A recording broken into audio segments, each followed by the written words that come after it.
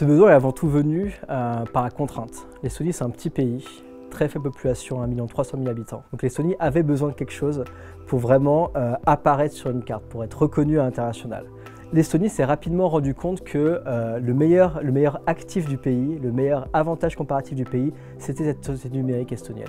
Mais en parallèle, le pays a besoin de coopérer avec le reste du monde, a besoin d'attirer des investisseurs, besoin d'attirer également des, des, retombées médiatiques, a besoin de faire parler de lui. Et donc est venue cette idée du programme e-residency qui permet en fait euh, une fenêtre sur le reste du monde qui permet à l'Estonie d'avoir accès à une communauté internationale.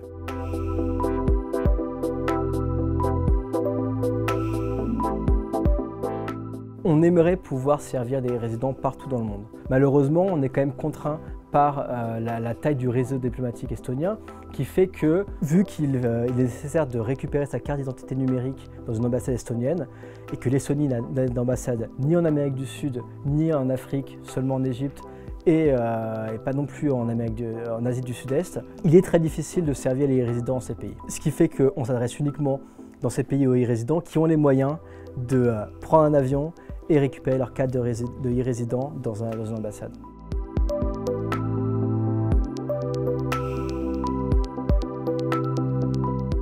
La prochaine étape, c'est vraiment euh, de, bâtir une communauté avec ces résidents. Donc notre priorité ne va pas uniquement d'être euh, d'avoir de, plus en plus de e-résidents, d'avoir de plus en plus d'entreprises, mais faire en sorte que déjà les échanges économiques entre e-résidents et entreprises estoniennes soient de plus en plus importants.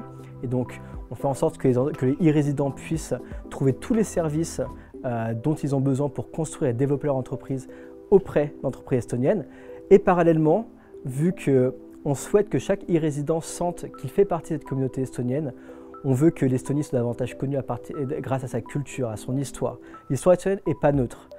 Et en nouant des relations avec des personnes aux quatre coins du monde grâce au premier Residency, on fait aussi en sorte que l'Estonie ait davantage d'amis à travers le monde. Et les amis sont des soutiens, les soutiens c'est ce qui peuvent vous protéger également parfois.